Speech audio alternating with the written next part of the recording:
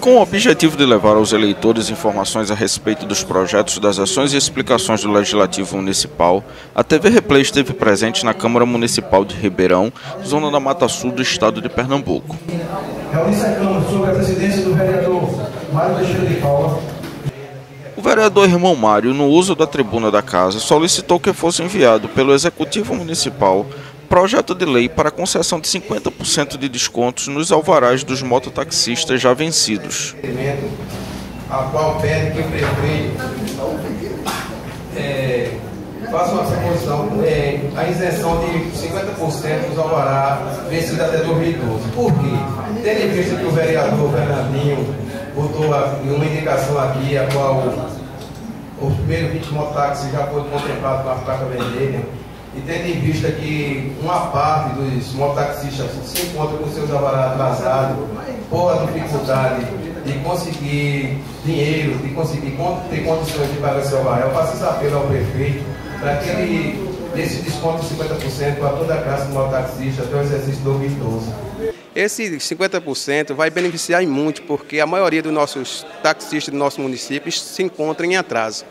Para quê? Hoje a gente estamos de posse das primeiras 20 mototaxistas que foi contemplada com a placa vermelha e só poderemos efetivar todos os mototaxistas quando eles colocarem seus alvará em dias. O vereador Antônio Carlos apresentou seu sentimento de insegurança na cidade, pois o índice de assalto vem subindo consideravelmente e precisa ser tomada alguma medida urgente para a contenção desta onda de criminalidade.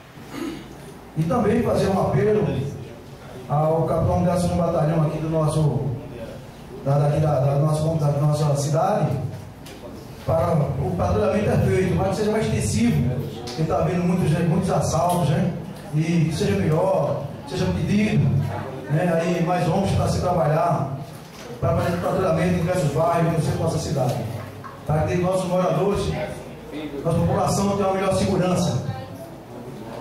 Pode ser feito é um melhoramento junto com o décimo batalhão, né, o pessoal da Polícia Militar, e deu uma busca extensiva, né, um melhor patrulhamento, e para fazer uma parceria junto com o governo municipal, para que seja estendido esse horário até meia-noite, uma hora da manhã, principalmente nos horários que os, os ônibus chegam da faculdade, Vitória, de Escada, Palmares, Recife, e durante o dia também, diversos bairros também, no distrito, inclusive no distrito da Agrovila, todos os sábados, quando o pessoal vem fazer a feira, eles estão sentindo muitos assaltos, eu mesmo já falei pessoalmente com, com o capitão, já mandei ofício, né, já pedi também à polícia e eles têm buscado, né, têm dado uma certa assistência, só que é pouco, né, é pouco, principalmente nos, aos sábados. Então tem que fazer a parceria, a prefeitura, junto com o batalhão da Polícia Militar, para que essa, essa, seja mais extensivo esse patrulhamento com as motos, com as viaturas, para dar uma segurança melhor à população.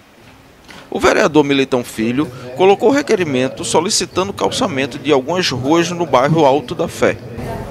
Onde estou solicitando ao prefeito Romeu Jacobina e ao secretário de Infraestrutura Márcio o saneamento e calçamento das ruas C e N, todas localizadas no bairro do Alto da Fé, para que os moradores tenham uma vida melhor, mais digna, evitando doenças, principalmente em dias invernosos.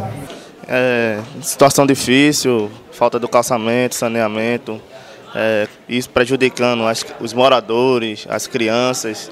Então solicitei aqui ao prefeito Romeu Jacobina, ao secretário Márcio, para que a gente possa dar uma qualidade de vida, para que seja feita a reposição e os calçamentos daquelas ruas, para que as crianças não sejam mais prejudicadas. As matérias, balão das explicações pessoais. Nada, não havendo quem queira fazer uso, nada mais havendo a tratar, encerra a breve sessão, convidando a todos para a próxima TV Replay, o que é bom se repete. Assim,